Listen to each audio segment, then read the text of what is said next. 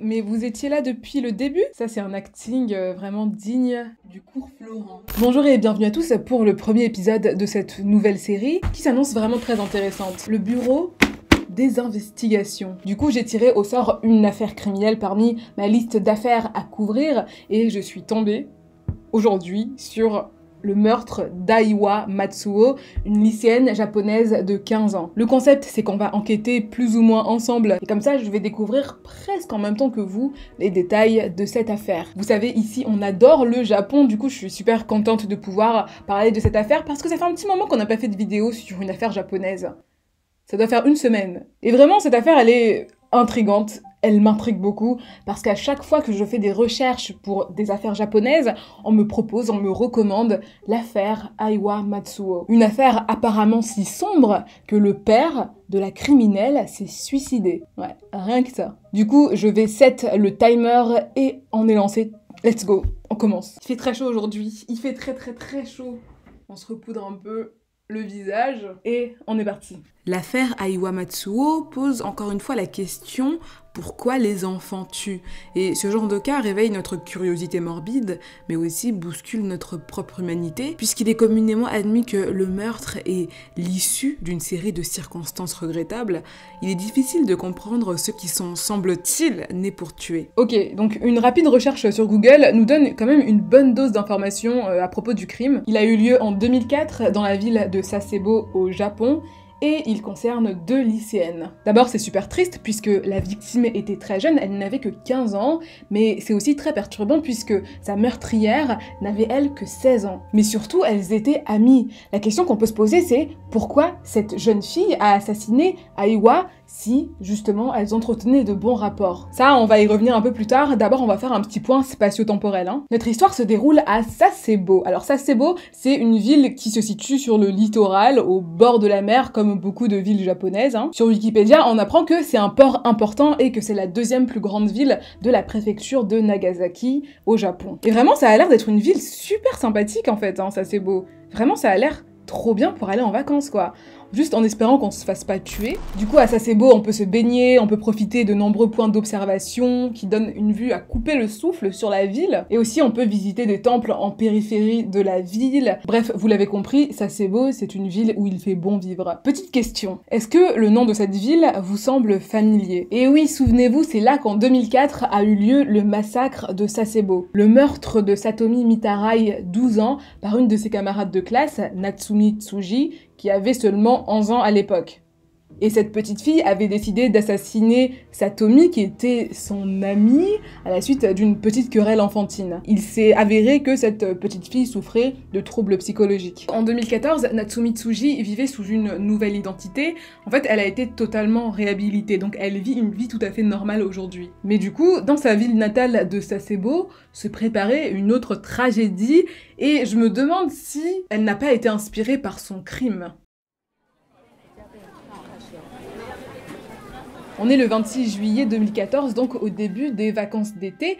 J'ai appris un truc assez sympa pour vous situer un petit peu. Au Japon, l'année scolaire commence généralement en avril et se termine à la mi-juillet pour laisser ensuite euh, la place aux vacances d'été jusqu'à la fin août. Du coup, Aiwa Matsuo, qui avait 15 ans, venait donc de finir son premier semestre au lycée et devait être euh, en vacances d'été à ce moment-là. Alors j'ai trouvé peu d'infos sur Aiwa, vraiment très peu d'infos. En tout cas, c'était une adolescente ordinaire, mais Quelque chose qui est beaucoup ressorti dans tous les articles que j'ai pu lire, c'est que c'était une personne qui était très lumineuse, qu'elle avait toujours un sourire sur son visage, elle était toujours très gentille, très calme, c'était aussi une adolescente plutôt studieuse, vraiment une adolescente euh, sans histoire. Aiwa est née et a grandi à Sasebo, et euh, elle avait une famille et des parents qui l'aimaient beaucoup, une famille très soudée. Encore une fois, une famille sans histoire. Du coup, ce jour-là, Aiwa n'avait absolument rien à faire, elle n'avait rien de prévu, et c'est pour ça qu'elle a accepté l'invitation à sortir d'une de ses amies. Il est impossible de trouver le nom de cette jeune fille sur internet puisqu'elle était mineure au moment des faits. Donc du coup, on va devoir lui inventer une petite identité. Pourquoi pas Mitsuha Voilà, en hommage à Your Name. Du coup, ça c'est beau et une ville plutôt animée comme je vous l'ai dit, et puis surtout c'est une ville qui est un peu épargnée de la fournaise des étés japonais puisque bah, elle se situe en bord de mer, et donc elle est un peu fouettée par les vents marins, et ça doit être assez agréable de s'y promener, euh, voilà quoi, l'après-midi. Petite information, Aiwa quitte la maison vers 15h. En tout cas, dans tous les articles que j'ai lus, on parle de 15 heures, mais surtout on parle du fait que ses parents l'ont vu partir et que ses parents savaient avec qui elle allait se promener, tout simplement. Aiwa était du genre consciencieuse et donc elle leur a donné l'adresse de cette jeune fille, cette Mitsuha, et elle leur a dit bon c'est une copine de classe, on va se promener et j'entrerai pas trop tard ce soir. Le déroulement de l'après-midi est un petit peu flou, tout ce qu'on voit, c'est que elles ont sûrement fait du shopping ensemble, qu'elles se sont promenées, qu'elles ont passé du bon temps, qu'elles ont mangé certainement des glaces, bah, tout ce que des jeunes filles de leur âge font finalement. Mais revenons un peu rapidement sur la question posée tout à l'heure. Pourquoi Mitsuha a assassiné Aiwa si elles étaient amies. Alors il faut savoir que j'ai appris des petites choses sur cette Mitsuha. Et en fait, Aiwa et Mitsuha étaient plus des connaissances que des amies. On voit là qu'elles ont sympathisé parce qu'elles étaient toutes les deux membres d'un club photo de leur lycée. Donc c'est comme ça qu'elles ont commencé à se parler, qu'elles ont noué un petit lien. Mais ça n'a pas duré très longtemps puisque Mitsuha n'est allée à l'école que trois jours au cours du premier semestre de seconde. Et bien sûr, puisqu'elle n'est allée à l'école que trois jours, je présume qu'elle a raté toutes les réunions du club photo après ça. Donc finalement, Mitsuha reste un grand mystère pour Aiwa. Elles ne se connaissent pas si bien que ça. On a l'impression que si Aiwa a accepté cette sortie, c'était parce qu'elle s'ennuyait un petit peu. C'était l'été, le début de l'été. Il n'y avait pas d'école, il n'y avait pas grand chose à faire non plus. Mais aussi, Aiwa savait certainement que Mitsuha vivait seule. Oui, parce que Mitsuha vivait seule dans son appartement. Et donc certainement, Aiwa s'est dit, bah super, un petit après-midi, sans supervision, entre copines, ça ne peut qu'être sympathique. On peut imaginer que Aiwa a un peu révisé son jugement sur cette jeune fille un peu énigmatique, qui ne venait jamais en cours. Et en tout cas, à la fin de la journée, à la fin de cette promenade de l'après-midi, Aiwa a décidé de suivre Mitsuha jusqu'à son appartement. Vers 18h40, elle a envoyé un message à sa mère qui disait je serai de retour vers 19h. Deuxième petite question, pourquoi une adolescente de 16 ans vit seule? Et c'est très facile de trouver cette information, enfin pas tant que ça, j'ai dû un petit peu fouiller sur euh, des sites japonais. C'était pas très facile. Mais en tout cas, j'ai appris que le père de Mitsuha avait décidé qu'elle vive seule. Pourquoi? Parce qu'elle était trop violente envers les membres de sa famille. Donc finalement, Aiwa connaît bien mal Mitsuha et certainement elle n'aurait jamais suivi Mitsuha jusqu'à chez elle si elle savait de quoi elle était capable. Ok, donc on va faire un petit portrait de Mitsuha afin que vous sachiez il faut que vous sachiez qui elle est. Hein. Globalement, Mitsuha est une fille de bonne famille. Elle a toujours vécu dans l'opulence. Son père possède une maison de 300 mètres carrés pour quatre personnes. Et si la famille a autant d'argent, c'est parce que le père a obtenu un diplôme en sciences politiques et économiques à l'université de Waseda, et surtout qu'il possédait le plus grand cabinet d'avocats de la préfecture de Nagasaki. Le frère de Mitsuha est étudiant dans une école privée très sélecte de Tokyo et elle-même est très intelligente aussi. Hein. Elle a une intelligence supérieure à la moyenne, une intelligence qui lui a valu d'être raillée par ses camarades un grand nombre de fois. Et à propos de ça, j'ai trouvé une petite anecdote assez intéressante, ok? Nous sommes en 2010 et Mitsuha est au collège et une de ses camarades de classe lui dit écoute, euh, je comprends absolument pas pourquoi tu travailles autant. Et Mitsuha le prend extrêmement mal au point où elle va verser du détergent dans le repas de cette jeune fille, et cette jeune fille va finir aux urgences après ça, bien sûr. Une chose à savoir, c'est que ce n'est pas la première fois que cela se produit. Mitsuha a, à plusieurs reprises dans le passé,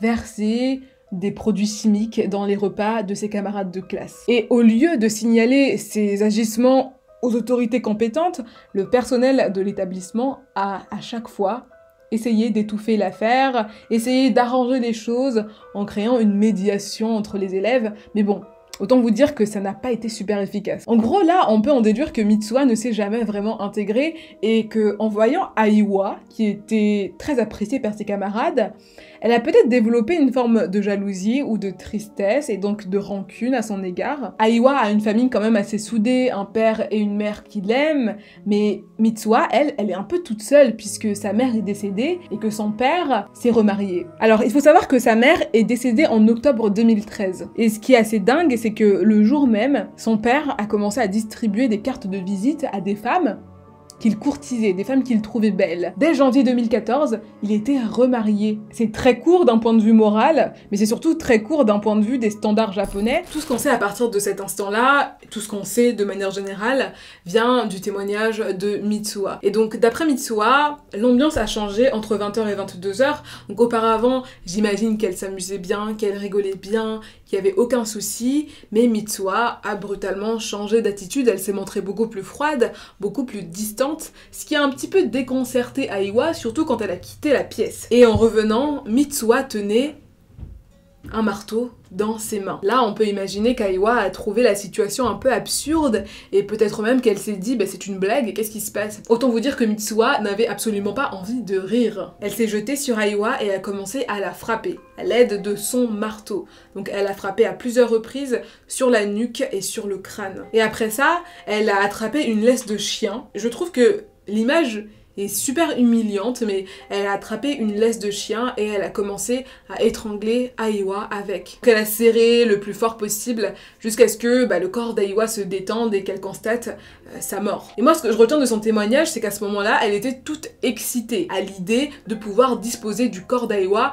comme elle le voulait, et surtout, en fait, ce qui l'inquiétait le plus, était que les voisins aient entendu les bruits de la lutte, hein, et pas du tout le fait qu'elle ait tué Aiwa. Ok, petit détail important à propos de Mitsuha, elle a toujours été considérée comme un enfant spécial, un enfant bien trop intelligent, et surtout depuis son jeune âge, elle exhibe des comportements super alarmants. Alors déjà, elle adorait, quand elle était petite, lire des livres médicaux, des livres de dissection, et elle a commencé très tôt à disséquer des animaux, et particulièrement des chats. Et il semblerait que tout cela se soit accéléré suite au décès de sa grand-mère. On peut imaginer que c'était un moyen pour elle de gérer sa souffrance. Toujours quand elle est au collège, comme je vous l'ai dit plus tôt, bah, elle a tenté à plusieurs reprises d'empoisonner des camarades de classe en versant du détergent dans leur repas. Et surtout, petit détail, et c'est sûrement ce qui a fait que son père a préféré qu'elle vive seule, en mars, donc juste avant son entrée au lycée, elle a attaqué son père à l'aide d'une batte de baseball en fer. À partir de là, Mitsuha possède le corps d'Aiwa, elle peut faire ce qu'elle veut de ce corps, et elle a toujours voulu savoir comment ça se passait à l'intérieur d'un corps humain. Elle a toujours été passionnée de dissection, voilà, c'était une enfant un peu particulière. Quelques jours avant sa rencontre avec Aiwa, elle avait acheté un couteau, un couteau qui devait lui permettre euh, de scalper le corps d'Aiwa et c'est ce qu'elle fait. Elle commence par l'entailler donc à plusieurs reprises comme pour voir euh, ce que ça fait finalement, première tentative. Ensuite, elle passe à un ouvrage un peu plus conséquent, elle découpe la main gauche d'Aiwa. Et enfin, après ça,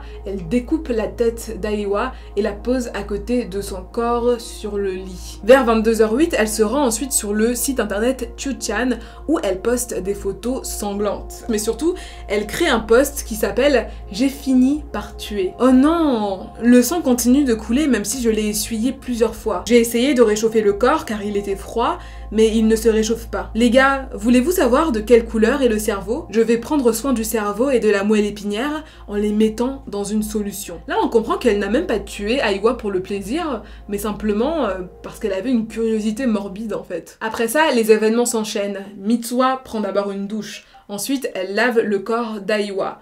Un peu plus tard, elle va jeter son téléphone du cinquième étage, là où se trouve son appartement. Tout ça, certainement pour effacer les preuves de son acte. Bien sûr, à la maison, vers 23h, la famille d'Aiwa commence à s'inquiéter.